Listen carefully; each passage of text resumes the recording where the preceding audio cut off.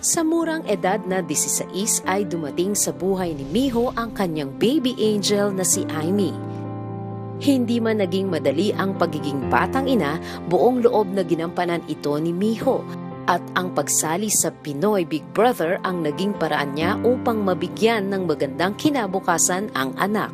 Lagi ko po siyang iniisip at lagi ko po siyang inuuna sa pag-iisip ko. Kaya ginawa ko po ang lahat po. Sa pagtindi ng kompetisyon sa loob ng bahay, pumasok si Aimee para bigyan ng inspirasyon ang ina.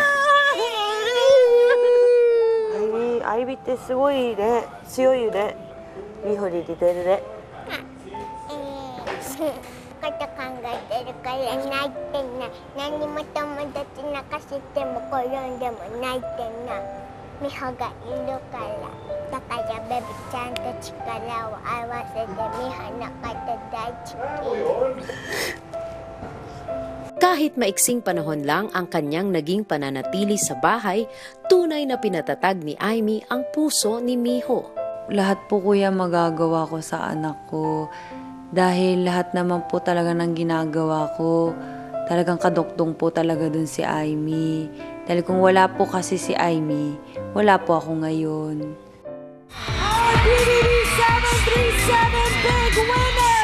At ngayong muli na silang magkasama, sabay haharapin ni Miho at Aimee kasama si Mommy Mercedes ang masasayang kaganapan sa bahay ni Kuya.